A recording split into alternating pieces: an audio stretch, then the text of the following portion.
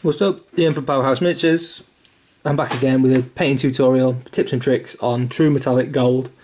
So I've done a few of these now, one on red and um, one on some like slime effects that I've been doing. So it's true metallic gold. This is the uh, Captain Cassius guy from Deathwatch Overkill. It's Ortan Cassius, I think. Ignore the rest of the model because there's just a few uh, base coats at the minute. I'm just sort of working on this one for eBay. So on the true metallic gold, I'm going to work pre- predominantly on this um, the Crozius Arcanum, whatever it is, on the uh, on the left arm. So I've got uh, one base coat down. I'll, I'll talk about that in a second. So I use a few non-metallic techniques, um, and if you're not familiar with what that is, it's creating a gold effect or a silver effect or a metallic effect without actually using a paint that's got metallic pigment in it. So it would be various shades of brown and yellow that make you know make it look like gold, really classic like art theory stuff. Um, and I can't really do it justice in an explanation like that, so go and find it online if you want to know um, more. But this is true metallic metals, as in um, the the paint physically has gold flecks in it, or not real gold, but you know metallic flecks in the in the, in the paint. A few of them, and then I personally use, and again this is just just me, it's just what I sort of do. Um, some of the non-metallic metal techniques, as in some of the shades that um, you would typically find in a non-metallic technique to shade true metallic metals. So the actual the, the base one that I use most is Gehenna's Gold from Citadel. Again, I'll, I'll have all these on screen on like a little annotation thing. But Gehenna Gold, Auric Armor, and then I use uh, what's it called? Chrome, Vallejo Chrome Model Air. So uh, that's like a really white, like probably the lightest sort of silver you can get, and you use a little dry brush with that thing. So if you want to join in, I've got Vallejo Extra Opaque Heavy Violet. I've got Caliban Green, Rhinox Hide, Mournfang Brown, Agrax Earthshade, Seraphim Sepia, Gehenna's Gold, Auric Armor Gold, Cassandora Yellow, Lamenter's Yellow. I've got Vallejo Model Air Metallic Chrome. The thing's rubbed off. I can't see it. I'm sure it's called Chrome. Anyway, that one. And two brushes. Winsor and Newton zero and a Winsor and Newton double zero, both series seven. Um, the tip's going a little bit on my zero, which is kind of annoying, but whatever. I should have took better care of it. anyway, so I've got one base coat of uh, Gehenna's Golden there, so I'm just going to put another one on. Uh, mix this correctly because this in particular has a red uh, medium, and the red medium really that comes through. So if you open it up now, you can see there that's not the colour it's probably supposed to be. It's like really red. So if you mix it up, you get like the actual colour, which is closer to that, which is much lighter on the outside. So if you can, if you've got the time, shake it up for a few minutes. Like time yourself because you won't be shaking it that long, but do it literally two minutes because uh, get a good effect then. So it should be alright. There it is. So a little bit of water. I don't mix them down too much.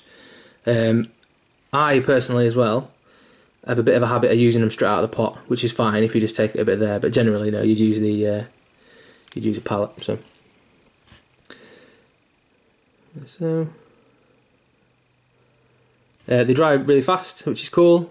Um, and if you do too thick a layer without really, um, you know, without watering it down or having water on the brush to start off with, the Games Workshop ones can clump, which means it'll sit inside the crevices and stuff in the model, potentially ruining some of the details.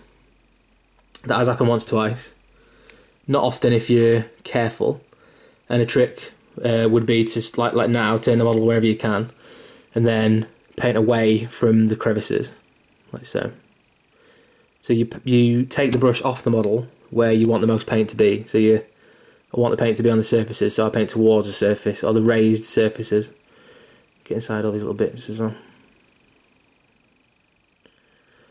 So, um, so yeah, so I'm halfway through painting this one. Really cool, the Deathwatch Overkill models. And uh, another thing as well, um, I usually wear gloves. Sometimes the oils on the fingers will um, leave a fingerprint on the model. So having big hands and that, I either use uh, I usually Blu Tack them onto a paint top or wear a pair of gloves. You can get latex gloves on eBay for a quid or something. So just get a few of them, buy them in the shops and that. Um, or you know, just whatever, eBay. I've got these cool black ones that I think tattooists use, which is kind of cool.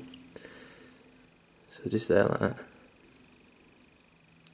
So again, the crevice is in the centre, obviously, of the uh, of the pattern. So I'm just painting away, away from that. Right.